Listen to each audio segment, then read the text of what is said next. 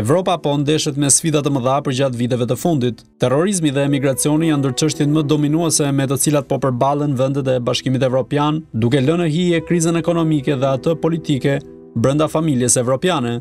Rritja e shtetit islamik, lufta në Siri që po rrjedhoi ka sjell valën e madhe të emigrantëve, ka vënë në vështirësi liderët e Bashkimit Evropian dhe sistemin e tyre të menaxhimit të këtyre krizave.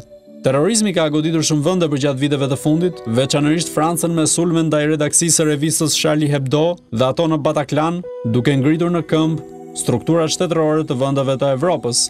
Studiuesit kërkojnë të gjejnë shkaqet e këtij radikalizimi kaq të madh, i cili është ndruar në organizata të mirëfillta terroriste, si ato të Shtetit Islamik.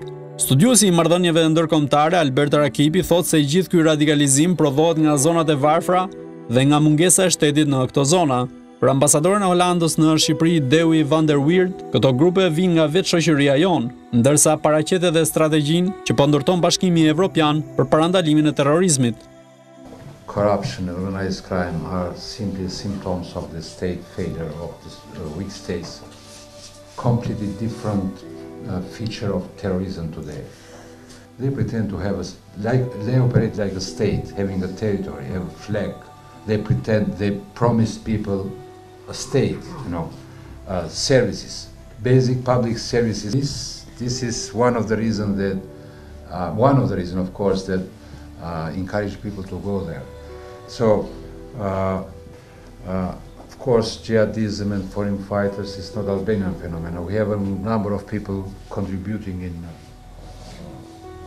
state of Islamic State of Syria and Iraq which is a big number compared to the size of population. Uh, but uh, this is really security threat for nation, for our national security, and then for European security. The, the people who went to fight there comes from the very poor areas.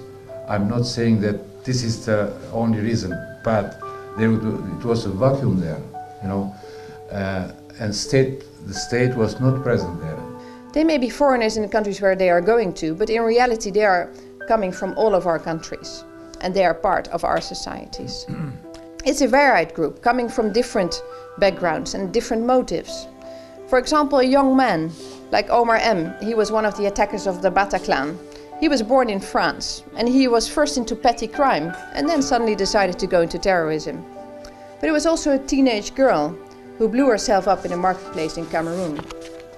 There was a Dutch soldier among them, of 26, and a young man who sits in front of his computer, and he is soliciting funds from extremists for humanitarian assistance to ISIS. So I think it is really important to have a look at what we are currently doing to fight it. Um, uh, there is an international coalition. Uh, I mentioned this, uh, this global coalition, and also the EU is very active. And I think it is clear that we need to tackle these terrorist networks also by setting up and enforcing our own international cooperation networks.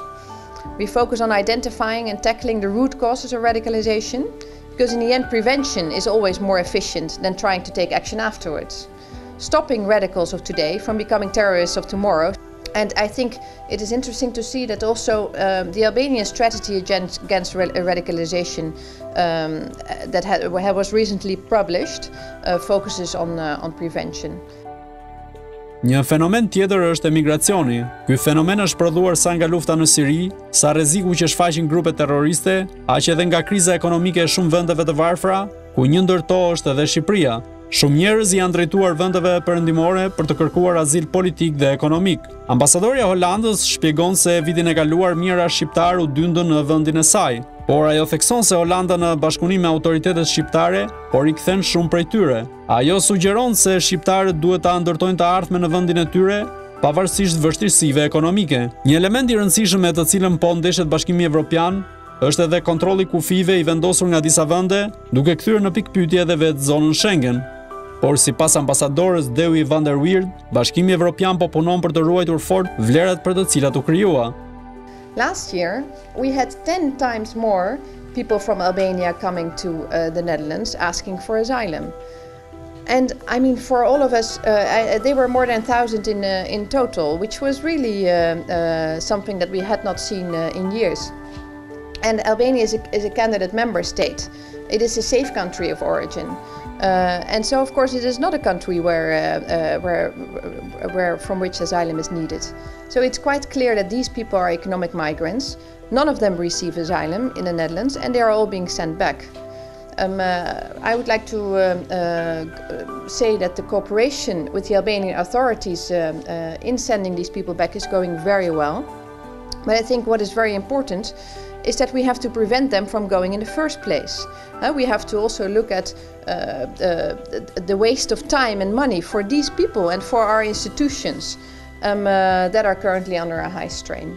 So I think it is also important um, uh, to focus on the reasons why they might be leaving and to look into the creation of possibilities for people to, uh, to work and live and, and build up their futures in Albania. We are currently all together working uh, to stop that from happening and to uh, make sure that, that, that we can protect um, uh, the Schengen area. Um, it is our goal to send back you know, as many migrants uh, that are economic migrants uh, as possible, also to be able to really have enough capacity as a union to really um, take care for the time as, Uh, as needed uh, of these refugees. Uh, and I think um, we are all really working hard um, to maintain um, those values and, and those achievements that, we, that we have established in the European Union. Pavarësisht për pjekjeve të deri tanishme, terrorizmi dhe emigracioni mbeten dy çështje thelbësore me të cilat po ndeshet Bashkimi Evropian, ndërsa kriza ekonomike dhe politike ndodhet midis këtyre dy problemeve. Një politikë konkrete e bashkëpunimit edhe për te vendeve të familjes evropiane shihet si një rrugëzidhje e momentit deri në hartimin e një strategjie të përbashkët të të gjitha vendeve të Evropës për të mbajtur gjallë vlerat për të cilat u krijua Bashkimi Evropian.